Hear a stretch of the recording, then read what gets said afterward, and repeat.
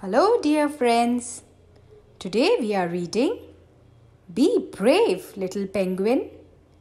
Text by Giles Andreae. Illustrations by Guy Parker Rees. Let's begin. In the cold Antarctic sunshine, where the icy ocean ends, lived a family of penguins with all their penguin friends. There were fat ones, there were thin ones, there were penguins, short and tall. But the little penguin Pip Pip was the smallest one of all. And while the other penguins were out swimming wild and free, little Pip Pip played alone, too frightened of the sea. Names like Scaredy Pip Pip sometimes echoed in his ears. He was sad and he was lonely, but he couldn't show his tears. What's the matter, Pip Pip? said his daddy one fine day. You can't be scared of water. What a silly thing to say. Be gentle, said his mummy, taking Pip Pip by the hand. We all have certain fears that might be hard to understand.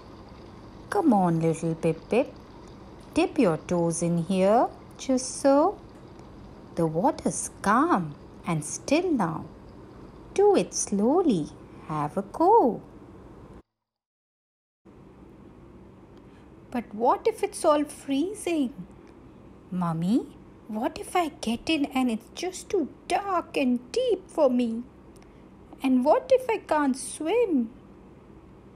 And what if there are monsters there who smell me from their den? And they slither up and eat me, and I'm never seen again? I understand, my darling, said his mammy with a kiss.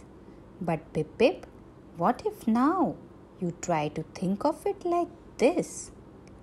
What if in that water there are friends for you to meet? And what if it is light and warm and full of fish to eat?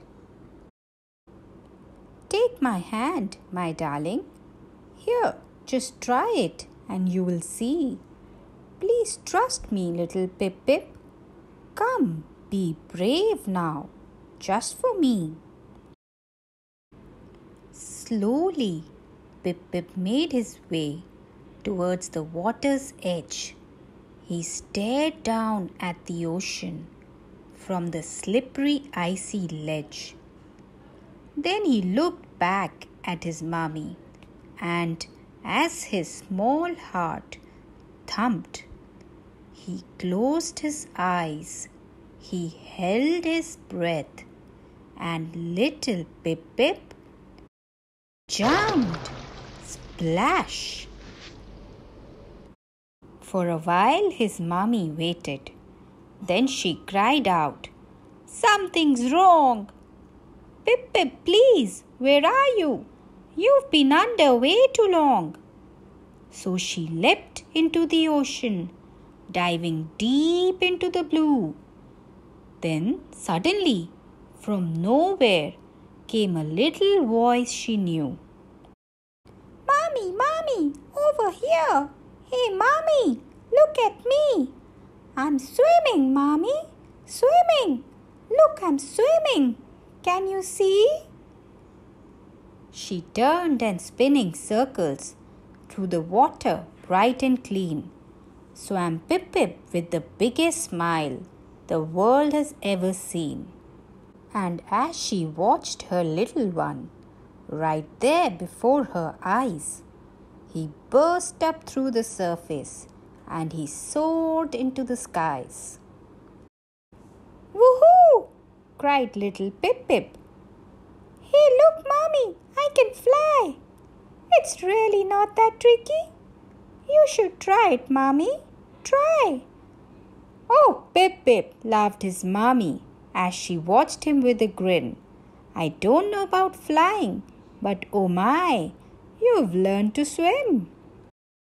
Then his friends all gathered round as Pip Pip landed with a bump and said, Sometimes all you have to do is just be brave and jump.